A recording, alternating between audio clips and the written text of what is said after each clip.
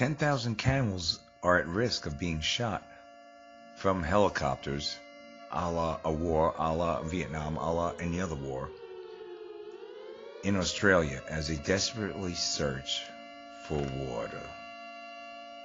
About 10,000 camels are at risk of being shot and killed in a drought ravaged region of Australia. How is it drought ravaged? It talked about the geoengineering, how it's weather warfare, how they're controlling the weather, spraying you from above using nano particulates, aluminum, strontium, barium, among, among other things, in those nanoparticulate concoction chemtrails.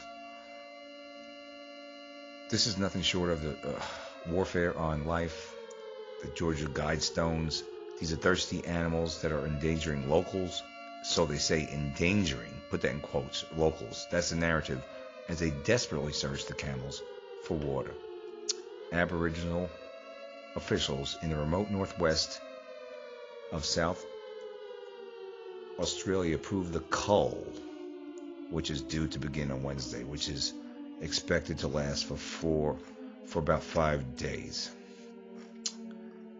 There's another culling going on. You know what the other culling Georgia Guidestones. Folks, this is serious business.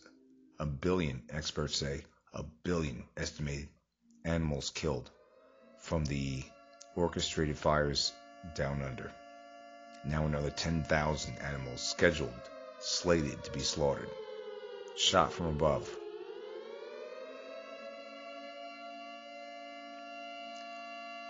It's time to wake up.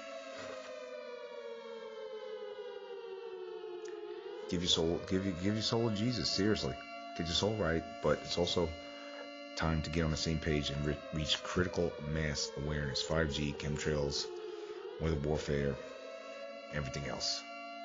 Serious business. Don't believe me? Just look this stuff up. Unbelievable.